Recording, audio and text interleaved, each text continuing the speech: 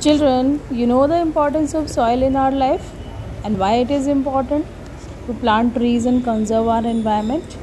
Yes, green plants provide oxygen to us and we get food from plants. So we can say that the plants are our green friends. हमारे जो plants होते हैं वो green friends कहलाते हैं and the main thing is plants need soil to grow. Plants को किसकी ज़रूरत होती है? सॉइल की। इसीलिए हमें सॉइल को कंजर्व करना है और उसको इरोजन से रोकना है। और आपको पता है कि प्लांट्स क्या करते हैं? सॉइल बाइंडर्स का काम करते हैं।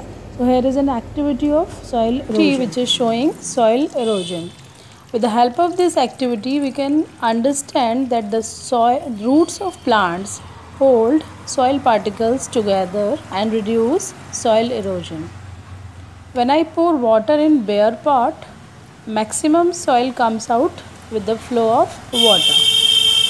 But in the second case when i pour water in the second pot which is having a small plant minimum soil comes out from the pot. So you can understand the soil erosion with the help of this simple activity. You can also perform this activity on your own so i hope you all have understood the topic soil erosion. In the next video we will continue. We will study about the soil conservation.